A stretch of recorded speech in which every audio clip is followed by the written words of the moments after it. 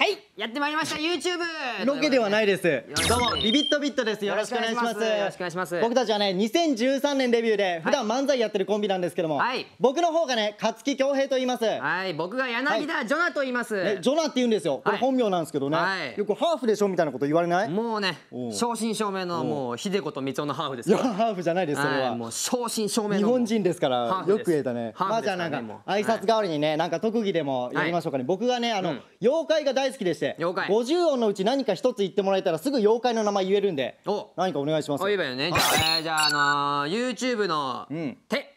あ入ってない。YouTube に手は手。手。手。手、うん。天井舐め。はいあの、天井を舐めてシミをつける。そういう妖怪です。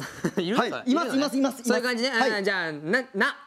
なな。な。何度ババア。何度？ババア。何度ババア。はい、あの日本家屋に何度ってあるでしょ？あれを開けると、そこに座ってるっていう妖怪です いやもうあれじゃなんかもうそんなもう近所のいや違います。違います。おばあちゃんが迷い込んできただけでしょ？それも。妖怪です。います。妖怪ですか、本当に、はいじゃあ、はい。じゃあ最後最後。おおお。おおおっぱしょいしおっぱしょいし おっぱしょいしおっぱしょいしどっちだよ？おっぱしょいしです。いるの？はい。どんなの？おっぱしょおっぱしょってなんか言う石いやもう石じゃん。いますいますいます本当に。あ本当に、はい。なんかお前がちょっと妖怪に見えてきたわなんかいやそんなことはない、うん。俺は人間ですから。じゃあもっとすごい特技。僕お前もあんの？ありますんで、はいあのー、カエルの鳴き真似あやめときましょょうやめときましょう。しょうもない。ゲロゲロしょうもないからやめときましょうそんなのね。大丈夫ですか？代わりになんか意気込み最後に言って。意気込み、うん。意気込みじゃあいきます。